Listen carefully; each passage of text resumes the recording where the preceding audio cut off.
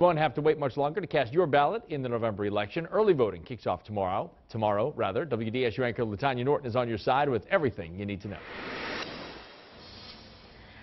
Scott, I'm inside the voting machine warehouse here on Chef Menteur Highway in New Orleans East. You can see right behind me, everything is set up. As you know, early voting kicks off tomorrow, Tuesday, October 21st, and it runs through Tuesday, October 28th. There are several judge judgeships on the ballot, and one of the races that's drawing lots of attention is the race for U.S. Senate, where New Orleans Democrat Mary Landrieu is facing off against Bill Cassidy, a Republican from Baton Rouge, and Tea Party favorite Rob Maness, a Republican from Madisonville. Along with this location, voters can also go to City Hall, they can go to the Algiers Courthouse, and Orleans Parish voters can go to Lake Vista Community Center. The polls open at 8.30 a.m. They close at 6 o'clock tomorrow night. Again, that's October 21st through October 28th, with the exception of Sunday, October 26th, and voters must bring a picture ID to the polls.